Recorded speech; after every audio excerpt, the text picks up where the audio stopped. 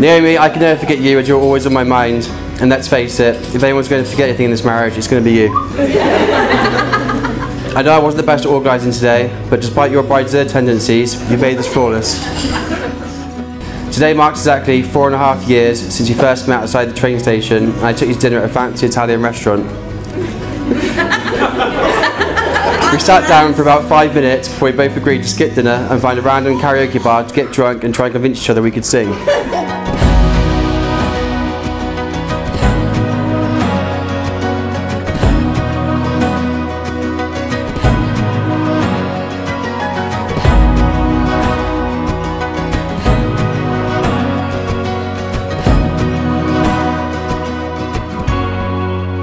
It was from this moment I knew you were special, which I remember telling the uninterested taxi driver on the way home.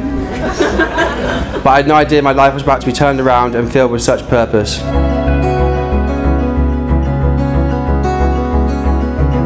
There are so many things that made me fall for you. You are beautiful, kind, selfless, hardworking, and have a captivating personality that everyone you meet warms to instantly.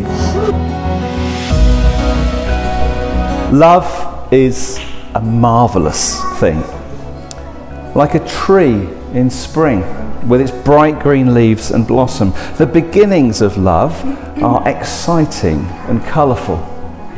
Our thoughts are taken up with our loved one, and any moment spent apart from them is a wasted moment, except that it's a moment closer to seeing them again.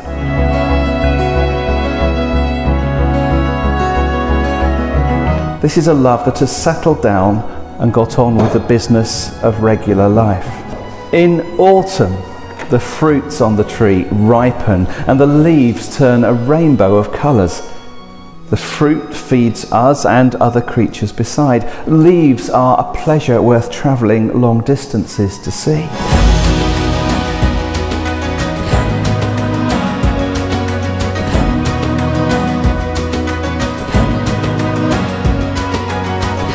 This is a love which has matured and become a source of nourishment and wonder for other relationships.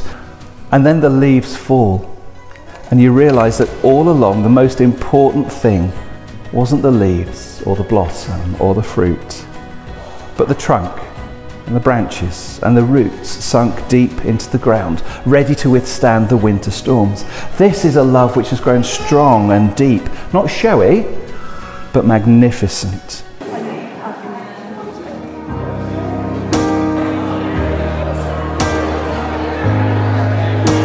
A very warm welcome to all of you to the happiest celebration of my life.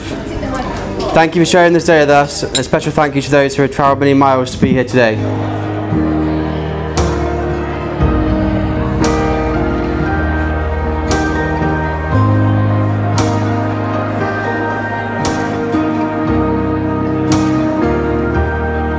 We'd also like to take a moment to remember Naomi's dad, He passed away late last year. He's very much in our thoughts today. He would have loved today's celebration and is greatly missed. I feel lucky to have known him for his last years and to have had a chance to ask for his daughter's hand in marriage. I have no doubt he's very proud of knowing me today.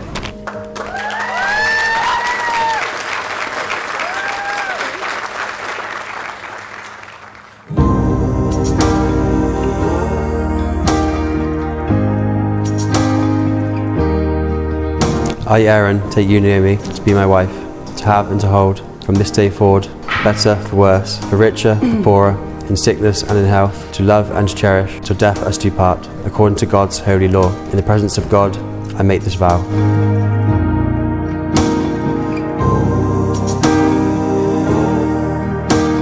You look incredible and it took my breath away as you walked down the aisle. I felt luckiest man alive that I've married not, not only the love of my life, but my best friend and soulmate.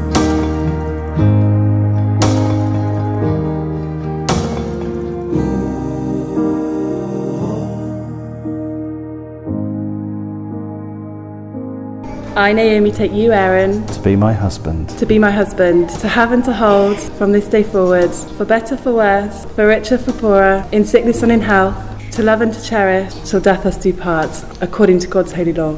In the presence of God, I make this vow. Naomi, you are the best thing that's ever happened to Aaron. He's a very fussy man that will only ever settle for the best and I know that he uh, searched for a long time to find you. Uh, when I first met you, I warmed to you straight away, and I knew that he had deservedly found the one. You are like two giant peas in a giant pod.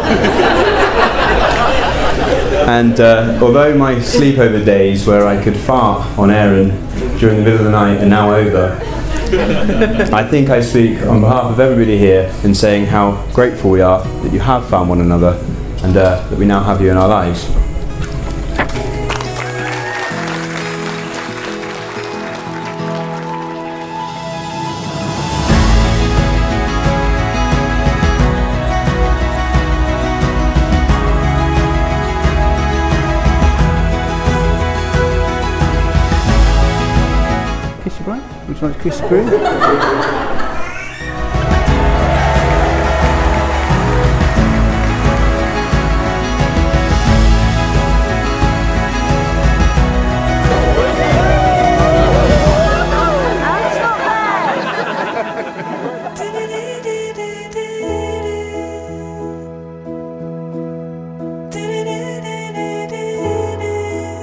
So all we have to do now is celebrate properly. And to properly welcome Aaron to my family.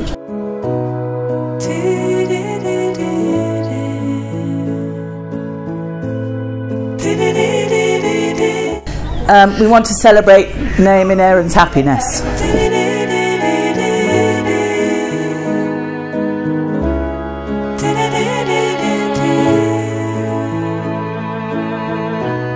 We want to celebrate those who can't be with us. And we want to celebrate all of our future happiness. the bride and groom.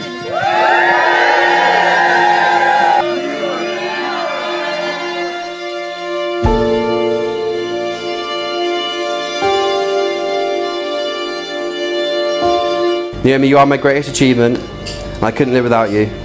You illuminate my life, and I promise to cherish it. I could go on forever about how much I love, respect, and adore you, but for now, let me just say thank you for marrying me, and I can't wait for our married life to now begin.